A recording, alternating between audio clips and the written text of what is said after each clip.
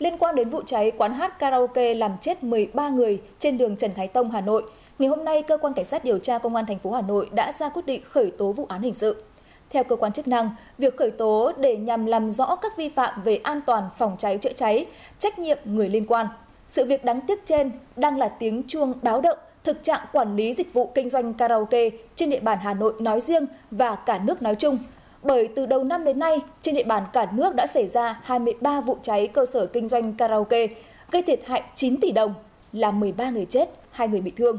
Điều đáng báo động là trường hợp mới đây nhất, chủ kinh doanh không chỉ phớt lờ lệnh đình chỉ kinh doanh của cảnh sát phòng cháy chữa cháy quận Cầu Giấy Hà Nội do thiếu giấy phép quán karaoke này bị cháy còn vi phạm rất nhiều quy định tối thiểu của luật phòng cháy chữa cháy.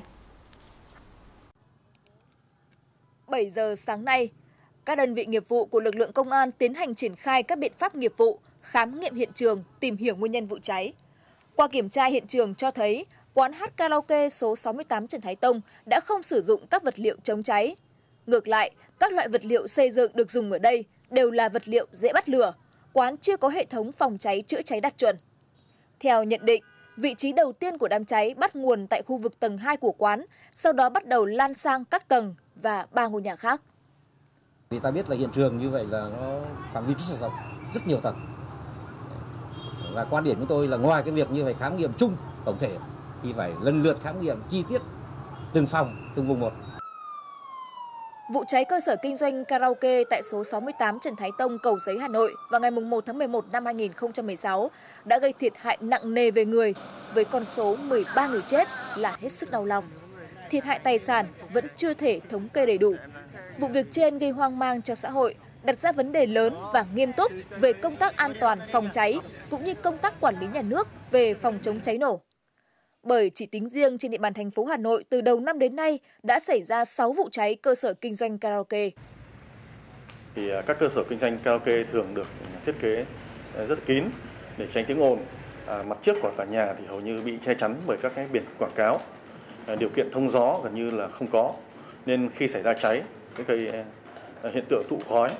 ờ, gây khó khăn cho lực lượng ờ, tổ chức chữa cháy và cứu nạn cứu hộ. Trong các cơ sở này thì thường sử dụng các cái vật liệu trang trí nội thất, cách âm dễ cháy như là mút xốp, cao su, phông rèm. Khi có cháy tốc độ cháy làm rất nhanh, lan rất nhanh, tỏa nhiều khói độc nên người trong quán không phải không phát hiện sớm và thoát nhanh ra nơi an toàn sẽ nghiêm nhiễm độc khói sẽ gây tử vong. Hiện nay, hầu hết các cơ sở kinh doanh karaoke không đảm bảo về lối thoát nạn. Đặc biệt nhiều cơ sở kinh doanh không lắp đặt trang bị các phương tiện, thiết bị báo cháy và chữa cháy, đèn chiếu sáng sự cố, chỉ dẫn thoát nạn nên không phát hiện được đám cháy sớm, không kịp thời cứu chữa khi đám cháy mới phát sinh, gây ra cháy lan, cháy lớn. Trở lại vụ cháy tại quán karaoke tại đường Trần Thái Tông, nguyên nhân ban đầu cho thấy do trong quá trình hàn cắt biển quảng cáo đã làm phát sinh đám cháy.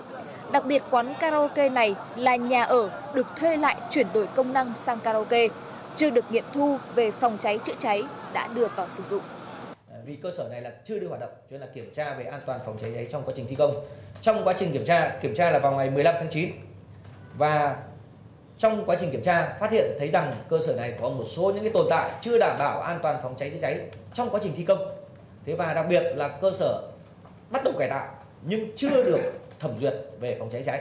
à, do đó cơ quan phòng cháy cháy có kiến nghị À, lập biên bản à, về à, về kiểm tra lập biên bản kiểm tra và có kiến nghị cơ sở phải làm dừng cái việc thi công Đấy, và uh, hoàn thiện hồ sơ để trình cơ quan cảnh sát phòng cháy cháy thẩm duyệt.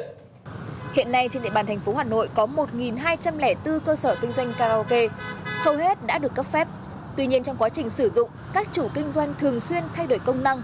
Chính điều đấy đã gây không ít khó khăn cho lực lượng chức năng. Thế có thể hôm nay là ờ, người ta chấp hành rất đúng rất đầy đủ theo quy định nhưng có thể ngày mai hoặc thậm chí không thể ngày mai mà ngay kể cả sau khi kiểm tra là người ta có thể lại có những cái phát vi phạm hoặc là phát sinh những vi phạm à, cũng không thể hàng ngày hàng giờ 24 trên 24 giờ có mặt hay là để, áp sát hay là để phát hiện để ngăn chặn những cái vi phạm không được đấy đấy là một cái thực tế là tôi cũng muốn trao đổi và chia sẻ để để chúng ta cũng thấu hiểu hơn cái điều này. Thực trạng mất an toàn phòng cháy các cơ sở kinh doanh karaoke đã được cảnh báo trước. Đặc biệt, qua nhiều lần kiểm tra, lực lượng chức năng cũng đã phát hiện những tồn tại này. Tuy nhiên, việc cháy tại quán karaoke trên phố Trần Thái Tông, Hà Nội là sự việc hết sức đau lòng mà các cơ quan quản lý nhà nước trong lĩnh vực này cần nghiêm túc nhìn nhận và đánh giá lại. Mặt khác, ý thức của nhân dân về công tác phòng cháy chữa cháy hiện nay cần phải được nâng cao để sự việc đau lòng tương tự không tái diễn trong tương lai.